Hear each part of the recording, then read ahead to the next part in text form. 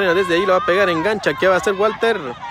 Se cae finalmente ahí. Falta, dice el árbitro. Falta peligroso.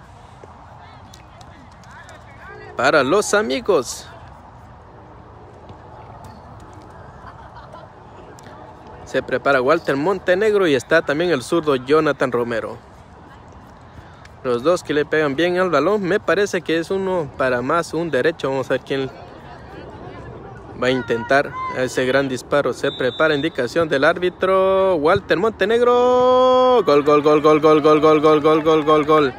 Golazo, damas y caballeros, ¿sí? de Walter Montenegro de derecha y se puso 2 a 0 el marcador en el primer tiempo, ganando los amigos.